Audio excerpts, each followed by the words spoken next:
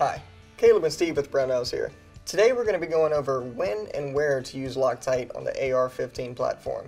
Now the reason we're doing this video is because in previous videos we've got a lot of responses and opinions on when and where to use Loctite on the AR-15 and a lot of it was incorrect so we figured it's definitely worth making a video over. Yeah, apparently you guys are going through a lot of Loctite, so let's take a look at the gun from beginning to end here. Yeah, and before we do that, I just want to point out the two most common forms of Loctite. You have your, your blue Loctite and your red Loctite. Of course, there's others, but those are the two most common. Um, blue being easy to remove, it can be broken free by hand. Red requiring heat to remove.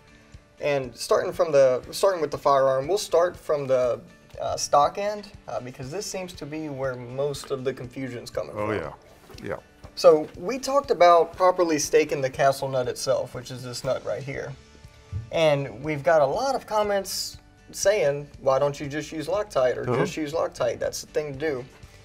I'll just say that this isn't an opinion type thing, or we suggest not to use Loctite. This is a please do not use Loctite on your castle nut.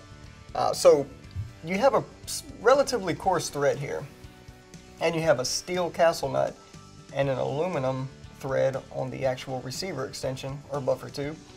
Now, if you put Loctite in there, yes, it'll be easier to break free, but the thing you're going to run into is that it's going to build up in between those threads. It will. One of the threads are going to give, and it's going to be the aluminum one, and you're going to strip the threads out on your buffer tube. And the only thing, the only way to fix that is indeed to replace the buffer tube. So definitely not worth ruining a buffer tube over.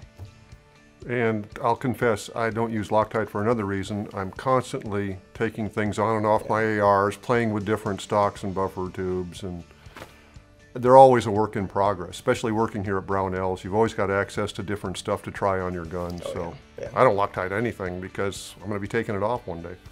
Yeah, absolutely. And moving on from there, going down to let's say your grip here. Now there's some companies, if you'll notice when they come with a new screw, they'll come with a thread locker already on them. That's not the same as your red or blue Loctite, even though they may be, it may have a blue uh, color on it. That's not technically Loctite. That's more of just a elastic type resin to help Right. it lock in place. It's pretty mild. Yeah, it's not going to actually lock anything in. It's, it just provides a little more friction. So uh, definitely don't use Loctite down there because you're running into the same situation. You have a steel nut or a steel screw and then the aluminum threads. I've seen a lot of lower receivers ruined because of Loctite. Mm-hmm. So, upper receiver? Yeah, going on to the upper receiver, there's only one thread on the upper receiver and that's the barrel nut thread. That's a biggie. That's the biggie. So let me say this applies to everywhere else on the gun, but I'm going to say it here. Loctite is not a replacement for proper torque. I've seen some people say, well, I don't own a torque wrench, so I just threw a little Loctite on there. Now you generated a whole nother world of issues with that Loctite. Because again, you have a steel barrel nut. Oh, in, in some cases you have aluminum barrel nuts. Sometimes, yeah. Sometimes, but still, that's a relatively coarse thread as well. And the Loctite, same situation. It's going to build up in between there. Yeah. Now, there's there are some instances where it's okay to use Loctite between steel and aluminum. Very few of those instances. I, don't, I can't think of any that are okay on the AR-15. Right. And it does, most people use the wrong Loctite anyway, it Right. seems like, and they're having to put a torch on that thing to get it loose again, Right, exactly. which. I don't really like. So again, don't use Loctite on your barrel nut. It doesn't need it. Doesn't need it. Properly torque it, you'll never have an issue. If it, if it was needed, the military would do it. Right. How about muzzle devices?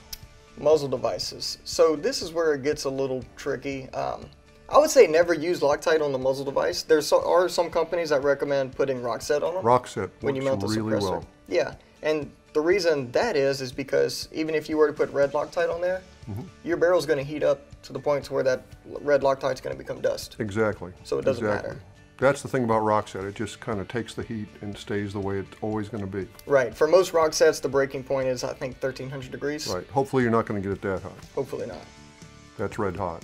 Yeah, yeah, that's that's getting up there. So yeah, you can put Rocksett on the muzzle, but Loctite's not going to help you in any way. Moving back to the gas block, a lot of manufacturers with the set screw gas blocks recommend a touch of red Loctite on those set screws. Mm -hmm, but honestly, that's not really doing much for you because again, that's a high heat area. Right. And if you've ever installed red Loctite on your gas block and then you shot your gun quite a bit and then took it apart and looked at those set screws, the Loctite that's on there is turned to powder. It's no longer acting as Loctite. I run all mine dry and I've never had one come loose. I mean, I'm sure it could happen down the road at some point, but Yeah, again, never has.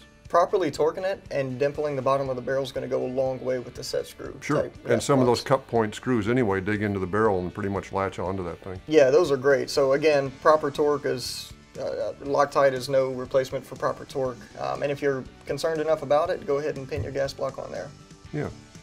So all in all, I guess you're saying lay off the Loctite. Lay off the Loctite. It's great stuff. Yeah, it's great stuff. Lay off of it. You don't need it. It can cause Right. more problems if not used properly. Um, and when it comes to Rocksett, the only place that should be used is on the muzzle device, if if needed, if recommended by the manufacturer. Very nice. So, all things considered, I'd say Loctite is a no-no on your AR-15 pretty much. If you had disagree with us or you have an opinion of any kind, leave us a comment below. We'd like to hear from you. Thanks for watching. We'll see you next time.